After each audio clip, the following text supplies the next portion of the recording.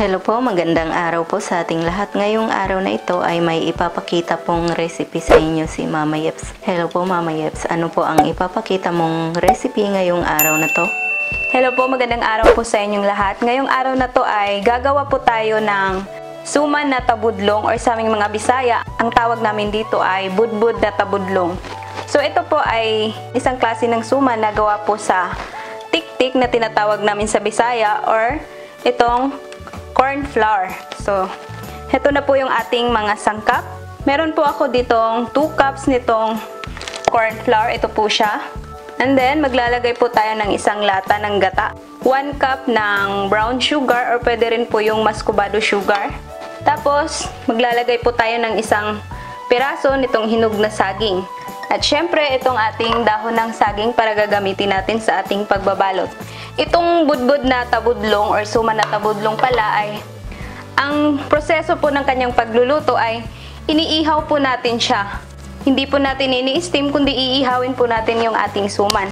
So, yan na po ang ating mga sangkap na gagamitin. Ngayon, ang first po na gagawin natin ay paghalu-haluin muna natin itong ating gata. So, itong gamit ko ay nasa lata.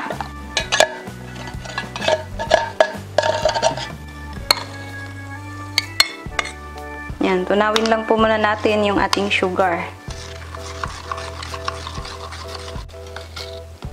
Kasi minsan sa sugar, meron po talagang mga magbubuo. Kaya kailangan natin siyang matunaw bago natin i-mix ito sa ating tiktik or yung corn flour.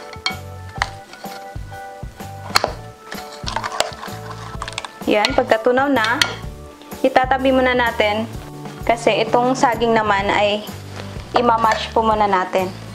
Maganda dito pag naglalagay tayo ng saging eh, yung talagang hinog na hinog.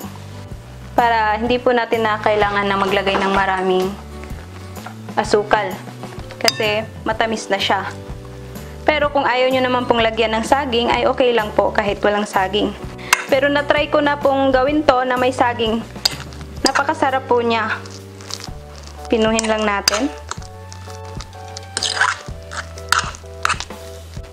So, pagkatapos nating na-mash, pwede na natin itong pagsamasamahin. Yung ating corn flour, yung ating sugar, at gata, at yung saging. So, imimix ko na po silang lahat. Yan, unahin ko po itong ating saging.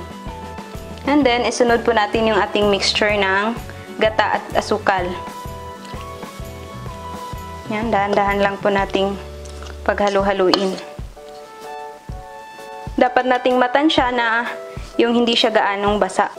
Yung sakto lang para hindi tayo mahihirapan sa pagbabalot doon sa ating dahon. Yan, mix lang po muna natin.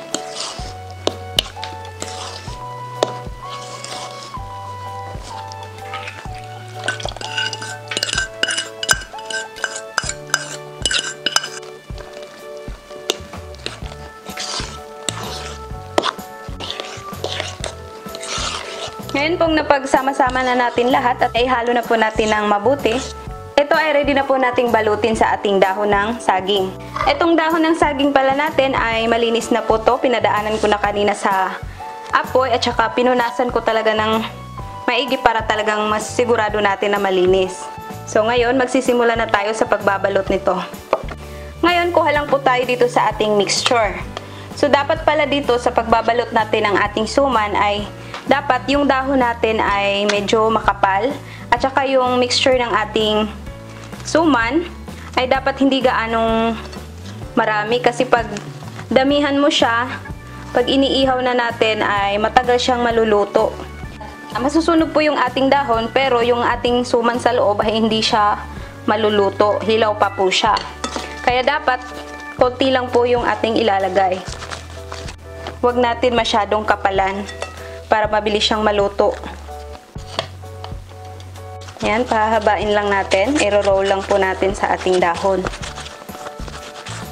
Tapos, pwede na nating balutin.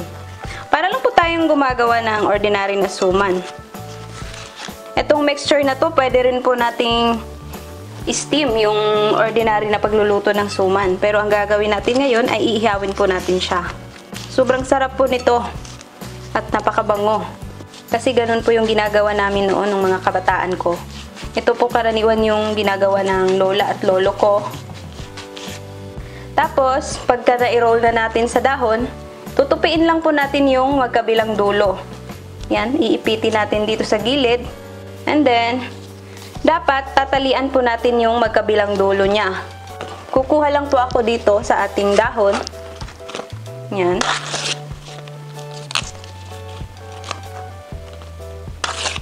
Ng pantali. Yan, tatalian natin yung magkabilang dulo.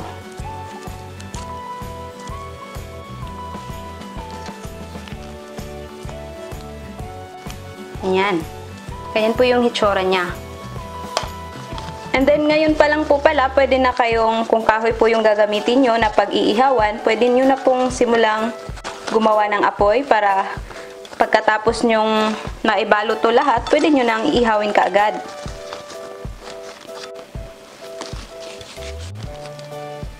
Mamaya, ipapakita ko po sa inyo pagkatapos na natin tong maibalot lahat sa ating dahon ng saging.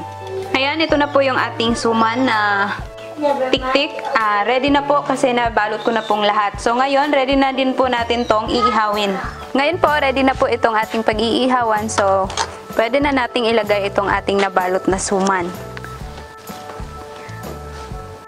Kasi itong gamit ko ay yung gi- ginagamit sa pag-barbecue. So, dapat i-adjust natin yung ating apoy sa medium lang para hindi siya masusunog. Dapat babantayan po natin, babaliktarin or ikotin po natin para pantay po yung kanyang luto. Yan, ipapakita ko po sa inyo mamaya pagka luto na yung kabilang side. Tapos babaliktarin po natin. Ngayon po, pagka ganito na yung kulay ng ating suman, ito ay luto na po. Pwede na nating hanguin. So, bubuksan po natin para maipakita ko po sa inyo yung hitsura sa loob ng ating suman.